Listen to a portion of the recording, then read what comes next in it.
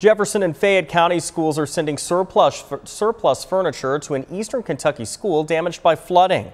The bookcases, cafeteria tables, chairs, and more are headed to Hindman Elementary School in Knott County. Master P Express in Jeffersonville donated a truck, and one of the company's drivers will transport some of the donated items.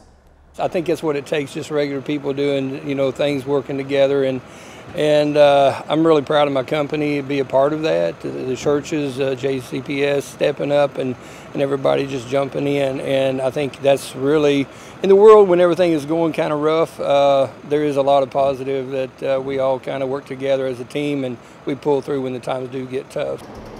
Knott County students have not been able to start school because they don't have the necessary furniture or supplies.